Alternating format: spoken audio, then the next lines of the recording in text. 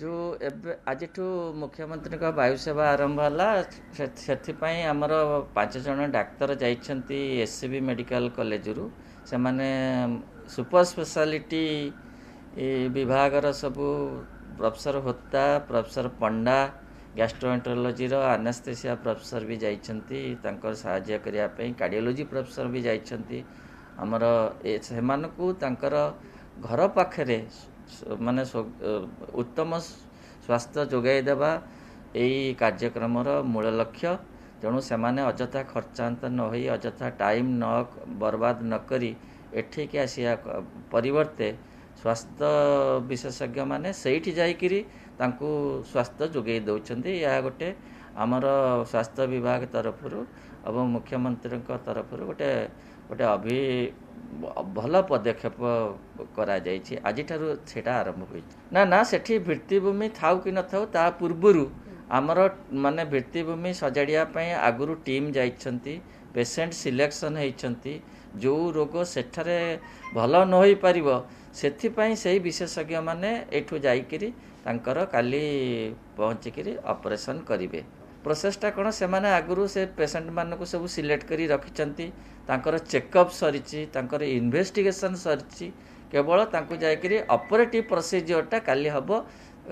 ହେଲା ପରେ ତାଙ୍କୁ ସେମାନେ ଦୁଇ ଦିନ ଫଲୋଅପ୍ ବି କରିବେ। ଦୁଇ ଦିନ ଫଲୋଅପ୍ କଲା ପରେ ଯେଉଁ ଟିମ୍ ଆଗରୁ ଯାଇଛନ୍ତି ତାଙ୍କୁ ସବୁ ସିଲେକ୍ଟ କରିବା ପାଇଁ ସେମାନେ ବି ରହିବେ। ଆପାତତଃ ସୁସ୍ଥ ହେଲା ପରେ ସେମାନେ ପୁଣି ଫେରିଆସିବେ। ନା ବର୍ତ୍ତମାନ ଚାରିଟା ଜିଲ୍ଲାକୁ ସେମାନେ ବାଛିଛନ୍ତି ଯେଉଁଟାକି ଆପଣ କହୁଛନ୍ତି ହୁଏତ ଦୁର୍ଗମ ଜିଲ୍ଲା ସେଇଟା ଅଛି। ତାପରେ ପରବର୍ତ୍ତୀ କାର୍ଯ୍ୟକ୍ରମ ଘୋଷଣା କରାଯିବ। ନା ଜିଲ୍ଲା ବର୍ତ୍ତମାନ ଜିଲ୍ଲା ମୁଖ୍ୟ ଚିକିତ୍ସାଳୟରେ ସେମାନେ ରୋଗୀମାନଙ୍କୁ ଆଣିକିରି ସେଇଠି ତାଙ୍କର ବ୍ୟବସ୍ଥା କରିବେ। କାରଣ ସେଇ ଯେଉଁ ଫାସିଲିଟିଟା ହୁଏତ P S C C S C ଲେବୁଲରେ ନଥାଇପାରେ। ଏଇଟା ଦେଖନ୍ତୁ ଗୋଟେ ସୁପର ସ୍ପେଶାଲିଟି ସେବା। ତେଣୁ ଜିଲ୍ଲା ମୁଖ୍ୟ ଚିକିତ୍ସାଳୟରେ ଏଇ ପ୍ରଥମେ ଏଇଟା କାର୍ଯ୍ୟକାରୀ କରାହେବ ନା କେସ୍ ଦେଖିକିରି ସେଠି ଯେଉଁ ପ୍ରକାର ସବୁ କେସ୍ ଅଛି ସେଇ ଅନୁସାରେ ଡାକ୍ତର ଦଳକୁ ପ- ଠିକ୍ କରାଯିବ ଏବଂ ସେମା- ସେମାନେ ଯାଇକିରି ସେଠି ସେଇ ପ୍ରକାର ଅପରେସନ୍ କରିବେ କିମ୍ବା କନସଲଟେସନ୍ ଦେବେ ହଁ ସେ ଯେଉଁ ଯେଉଁ ରୋଗ ସେଠି ଭଲ ନ ହୋଇପାରିବ ସେଇ ଭଳିଆ ଅସ୍ତ୍ରୋପଚାର କିମ୍ବା କନସଲଟେସନ୍ ସେଇ ସି ଡି ଏମ୍ ମାନେ ସେଇ ଜିଲ୍ଲା ଗୁଡ଼ାକର ସି ଡି ଏମ୍ ମାନେ ଜଣେଇଲା ପରେ ଏଠି ଡାକ୍ତରୀ ଟିମ୍ ବଛା ହେଇକିରି ସେଇ ଜିଲ୍ଲାକୁ ସବୁ ପଠାଯିବ। ଦେଖନ୍ତୁ ବର୍ତ୍ତମାନ ଏଇ ଯେଉଁ ଓମିକ୍ରନ୍ ବିଷୟ ଆପଣ କହୁଛନ୍ତି ଆମର ସବୁ ବିଦେଶରେ ଏହା ବହୁତ ଜୋରେ ବ୍ୟାପିଗଲାଣି।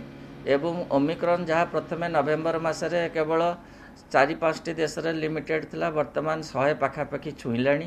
ତେଣୁ ଏଇ ଯେଉଁ ଓମିକ୍ରନ୍ ଯାହାର କ୍ଷିପ୍ର ବେଗରେ ବଢ଼ି ଚାଲିଛି ତାର ତାକୁ ଆଖି ଆଗରେ ରଖିକିରି ଆମେ ମଧ୍ୟ ସଜାଗ ରହିବା କଥା। ଆମେ ସଜାଗ ରହିବା ଭ୍ୟାକ୍ସିନ୍ ନେବା କୋଭିଡ଼ ଆପ୍ରୋପ୍ରିଏଟ୍ ବିହେଭିଅର ମାନିବା ଅଯଥା କ୍ରାଉଡ଼କୁ ଯିବାନି ଅଯଥା ଯାତ୍ରା କରିବାନି। କିନ୍ତୁ ଏଇ ସବୁ ଗୁଡ଼ାକ କଲେ ଆମର କେସ୍ ଲୋଡ଼ କମ୍ ରହିବ କେସ୍ ଲୋଡ଼ କମ୍ ରହିଲେ ଆମେ ନିରାପଦରେ ରହିପାରିବା। ଯାଇଛି ବ- ବ- ଯେଉଁ ବିଦେଶ ଫେରନ୍ତା ଯେଉଁ ସାତ ଜଣ ଥିଲା ତା ଭିତରୁ ଚାରି ଜଣ ନେଗେଟିଭ୍ ତିନି ଜଣଙ୍କର ଯେଉଁ ଯାଇଛି ହୋଲ୍ ଜିନୋମ୍ ସିକ୍ୱେନ୍ସ ତାର ରିପୋର୍ଟ ଏପର୍ଯ୍ୟନ୍ତ ହସ୍ତଗତ ହୋଇନାହିଁ। ହସ୍ତଗତ ହେଲେ ଆପଣମାନେ ସବୁ ଜାଣିପାରିବେ। ଆସିନି ଜିନୋମ୍ ସିକ୍ୱେନ୍ସିଂ ରିପୋର୍ଟ ଆସିନି। ତାଙ୍କର ପରୀକ୍ଷା ପାଇଁ ଯାଇଛି ଆଇ ଏଲ୍ ଏସ୍ ଯେଉଁ ଇନଷ୍ଟିଚ୍ୟୁଟ୍ ଅଫ୍ ଲାଇଫ୍ ସାଇନ୍ସ କି ଯାଇଛି। ତାଙ୍କ ସ୍ୱାସ୍ଥ୍ୟ ଭଲ ଅଛି। ନୋଡାଲ ଅଫିସରଙ୍କ ସୂତ୍ରରୁ ପ୍ରକାଶ ତାଙ୍କ ସ୍ୱାସ୍ଥ୍ୟ ଭଲ ଅଛି। ଏପର୍ଯ୍ୟନ୍ତ ଆମ ଅନ୍ତତଃ ପକ୍ଷେ ଓଡ଼ିଶାରେ ସେଭଳିଆ ମାନେ ଆଶଙ୍କା କରିବାର କୌଣସି ଇଏ ନାହିଁ। ତଥାପି ଆମେ ସବୁ ସଜାଗ ରହିବା କଥା। ନାଇଁ ସେଇଟା ସଦାବେଳେ ଆମକୁ ଆମର ପ୍ରେଡ଼ିକ୍ସନରେ ରହୁଛି। ଆମେ ହୁଏତ ଯେମିତି ବିଦେଶରେ କେସ୍ ବଢ଼ିଯାଉଛି ଏବଂ ଏହାର ମାନେ ସ୍ପିଡ଼ି ଟ୍ରାନ୍ସମିସନ୍ଟା ଯେମିତି ହେଉଛି ତ ଆଶଙ୍କା କରାଯାଉଛି। ତଥାପି ଆମେ ସବୁ ନିୟମ ମାନି ଚଳିଲେ ଏ ଆଶଙ୍କାକୁ ଦୂର କରାଯାଇପାରିବ। ସେଥିପାଇଁ ଆମର ସ୍ୱାସ୍ଥ୍ୟ ବିଭାଗ ପୁରା ତତ୍ପର ଅଛନ୍ତି।